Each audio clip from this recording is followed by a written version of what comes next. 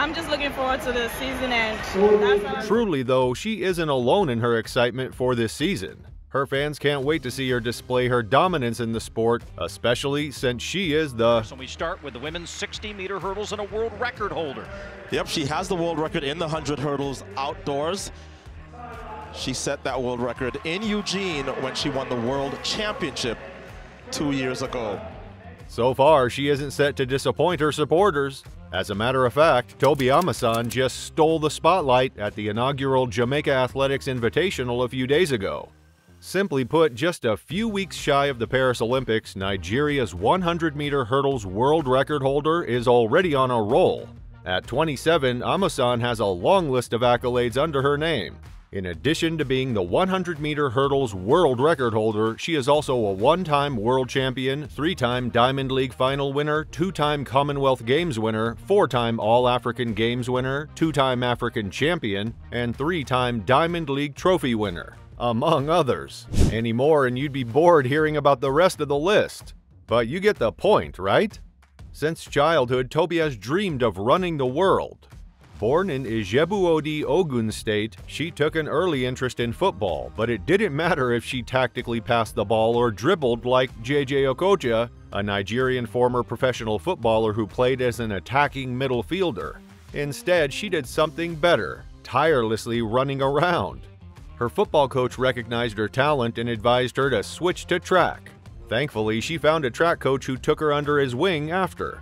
This marked the start of her career in Ijebu-Ode. Since coming into national fame in 2013, Amusan has gone from a local champion to a national sensation. What happened then, you may ask? At the time, the first edition of the African Youth Championships, a biannual competition for African athletes aged 15 to 17, kicked off in Warri, Delta State. Tobi Amusan participated and won the 200-meter silver medal, in the same year, she competed at the World Athletics U18 Championship in Donetsk, Ukraine, but she was disqualified for lane infringement. This setback didn't hold her back though, she bounced back the following year.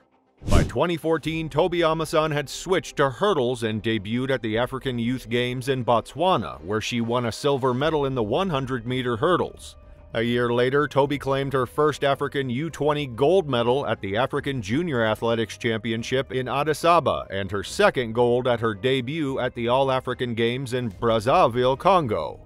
From there, she had her highs and lows in the sport, has had her fair share of wins and losses like everybody else. Long story short, she's now a top world runner. Her trajectory has taken an upward flight and this is a look into her career and growth. One catalyst she is not soon to forget, though, was when she spent 2023 fighting anti-doping charges and suspension.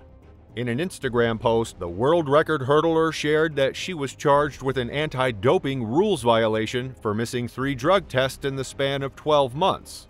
In the same post, she announced that she would fight the charges. I am a clean athlete, and I'm regularly, maybe more than usual, tested by the AIU, she wrote. Just so you know, missing three doping tests can result in a two-year ban, though exceptions can be made for different circumstances. Amusan said she was tested within days of her third missed violation and had faith the matter would be resolved in time for her to compete at next month's World Championships. Eventually, she was declared not guilty.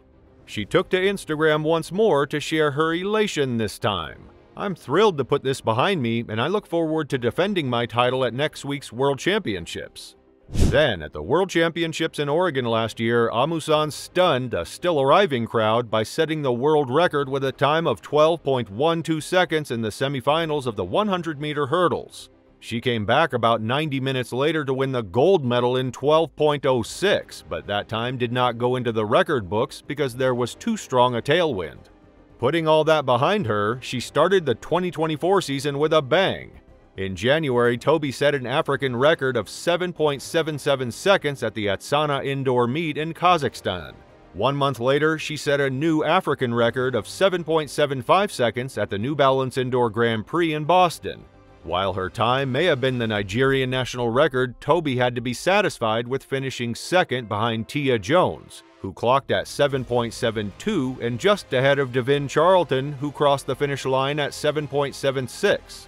Then in early April, Amusan lost to Olympic champion Camacho Quinn and world record holder Devynne Charlton at the Xiamen Diamond League. There, Tobi finished fifth in the women's 100 meters, clocking in 12.58 seconds. A few days later, Tobi was once again in action in the women's 100 meter flat at the Tom Jones Invitational in Florida, where she competed in the second heat of the Olympic development section, clocking a time of 11.26 seconds. She placed fourth in the race, won by 100 meter and 200 meter specialist Abby Steiner, who clocked 11.05 seconds, and Kiara Parker in 11.13 seconds.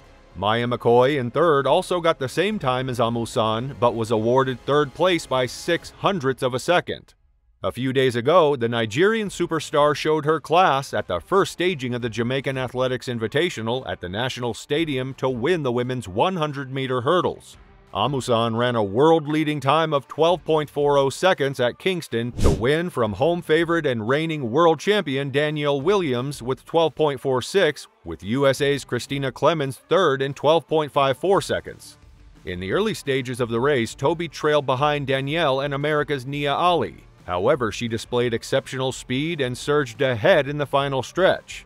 With that, Amusan has now taken over the world lead from American Tonea Marshall, who had run 12.42 seconds in late April.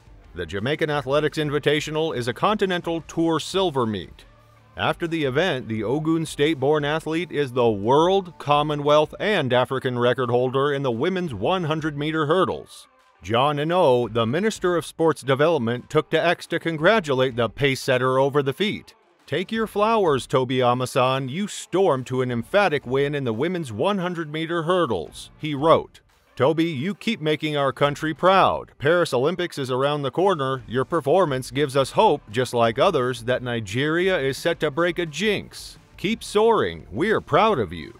Yes, Tobi Amusan has just become the world's fastest woman in the women's 100 meter hurdles following her incredible performance at the Kingston event.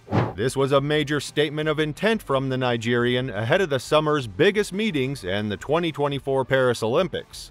With this blistering early season time in Jamaica, Amusan has set out an ominous warning to her rivals that she'll take some stopping in her bid to reclaim her world title.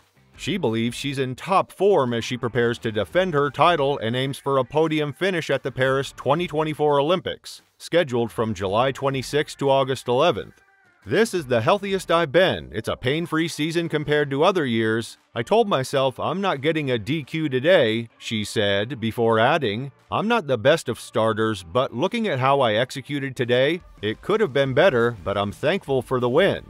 From there, Tobi is set to face off against Kendra Harrison in a highly anticipated women's 100 meter hurdles at the 2024 Adidas Atlanta City Games on May 28th.